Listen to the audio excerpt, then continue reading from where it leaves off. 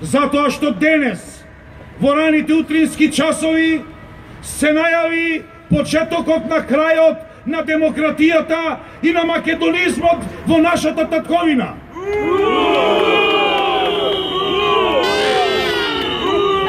Триесет и шест луѓе се уапсени, приведени и обвинети за тероризам. Фашисти! Фашисти! Ова, овде, се потврдува она голема мисла како вели Гоце Делчев не познавам друг народ кој толку страдал од своите собствени предавници. Или на легендарната реченица во филмот на Манчевски Пукај ме, братуче! Тоа е најстрашното. Овие луѓе кои се внатре приведени се осудени за тероризам. А оние другите кои беа терористи треба да се ослободат. Тоа ли е правдата која во овој момент нас ги се нуди? Тоа ли е оно кое Македонија го заслужува? Фашисти! Сите тие луѓе имаат своји деца. Замислете, уметникот Игор Дурловски го притвориле затоа што го разнесол македонското име на секаден ни светот. Тоа ли е неговата грешка? Грешката негова е затоа што бил патриот. Владо Јовановски, актер, Борис Дамовски, сите тие кои 70 дена за заедничка Македонија шета, одеа низ Скопје и го разнесуваа словото македонско за демократија, за зачувување на унитарноста на нашата татковина. Сега тие одговараат за тероризам. Ставете на вага и размислете да видиме тоа ли е тероризам. Фашисти! Сите тие Сабајле рано ги оставија своите дечиња во солзи. Тука има сигурно нивни присутни, најблиски. Сите тие имаат кој по три, кој четири дечиња. Пред нивните очи, пред, дец, пред, пред, пред детските очи ги затворија ги одзедоа. Има ли нешто поскапо од детска солза? Кажете ми. Нема. Поскапо од детска солза не постои во светот.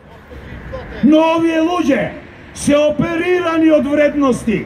Овие луѓе во напливот на својата желба да покажат сила, да покажат моќ, ќе уништат се пред нив. Јаничари! Да! Јаничари! Ги притвориле пратениците наши. Го притвориле Крсто Муковски, Саше Василевски, Жаклина. Го притворија Јохан. Што скривија тие луѓе? Што скривија? Тие ли се терористи? Фашисти! Сите овие таму треба да разберат и да направат разлика што е тероризам, а што е патриотизам. Што е тероризам кој уништува држави, а што е патриотизам кој се грижи за својата татковина. Така е! Фашисти! Фашисти! Овде се надевам сега не слушаат. Овде во оваа зграда. Овде сме претворени едни од една страна, едни од друга. И некој импровизиран зид. Кој е таму, кој е овде? Ние не сме овде новие честни луѓе, новие полицајци, да им фрламе бекатон плочки. И да им викаме, кумало ќе ви се деси. Кај сте луѓе? Освестете се сите вие за бедната ви ваша плата. Што извршувате овде? Кого го затворате? Кого чувате? Но не им се лутиме, затоа што тие луѓе наредено им е ова да го прават. Не тие кои се виновни туку овие овде. Зошто? Затоа што сакаат да го спреводат, спроведат нивниот мрачен план. Двојазичност и смена на името на Македонија. Со вакви случаи, почитувани мои, може многу да зборувам, но на крајот сакам да ви кажам, се надевам дека председателот Иванов го гледа ова и од мое име и од мине име на сите македонци и на сите пратеници ќе донесе одлука онаква каква што треба. Онаква каква што Уставот на Република Македонија, за кој овие луѓе, бранејќи го сега ги судат, му се можни и тој може ова да го заврши. А и тие нашите политички противници ќе смогнат сили и ќе видат кај сгрешиле. А судиите внатре ќе размислат и ќе донесат вистински одлуки. Затоа, браќа и сестри, со еден голем повик Македонија да не слушнат овие луѓе внатре, да видат дека не се сами, да видат дека Македонија е патриотска земја. Македонија! Македонија! Македонија! Македонија! Македонија! Македонија,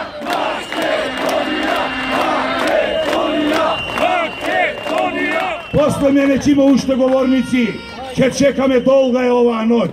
Долга е оваа ноќ во која ќе направиме притисок со оно што сме луѓе за овие внат.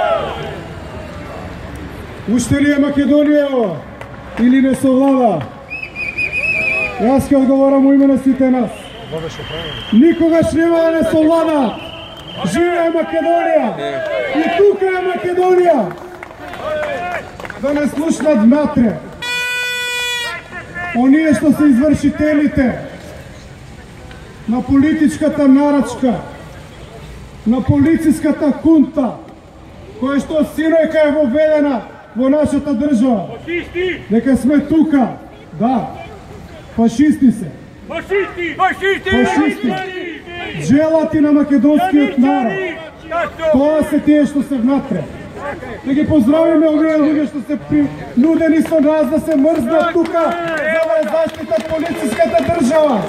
Која што е во целосна, целосна служба на партијата што е насилно доведена на власт во Македонија, која што ги изгуби изборите минатата година. Нокеска, синојка, си легнавме во Македонија. Сабајле се разбудивме во Белорусија. Нели, против режим се боре. Е, ова е режим. Гледате како режим се справува.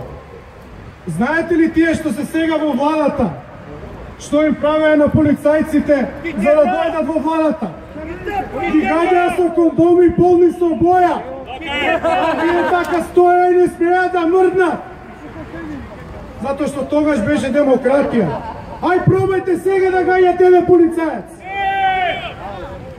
Знам дека никој од нас нема да гаѓа затоа што ние сме исти. Ние сме браќа македонци. Океј! Ама пробајте еден да да мавнете со боја. Има да скапете во затвор. Затоа што сега има режим во оваа држава. Сега има хунта. Ама хунтата да знае дека хунта на сила се соборува. Ние ќе се собориме на улица. Океј,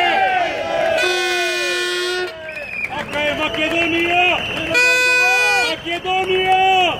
Барам од ВМРО, од мојата партија, подитно да се консолидира и да се радикализира, да го повика членството на улица,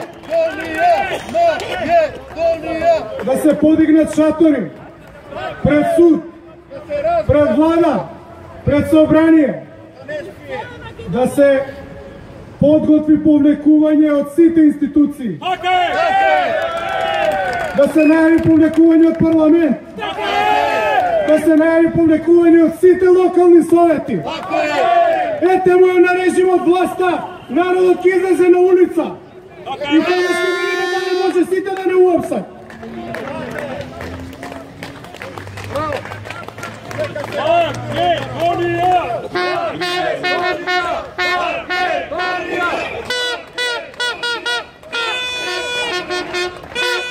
А верувам и добар, добар, добар дел од вас, влеговме да го спречиме државниот удар.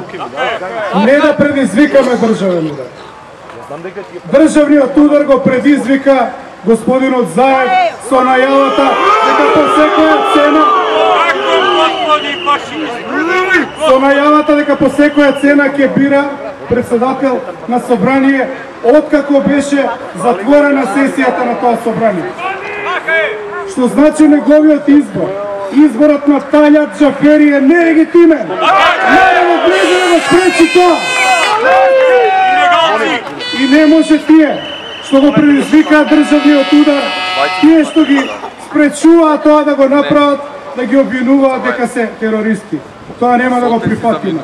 Ве повикувам сите вас, длабоко во себе, да ја најдете македонската искра, да ја најдете македонската честна, патриотска мисла, да се преслушате кого имате околу вас, да се преслушате кого имате дома, пријатели, збор, во живо, човек на човек, семејство до семејство, стан до стан, куќа до куќа, улица по улица, месна заедница по месна заедница, град по град, ќе се дигнеме и сите ќе излеземе на улица.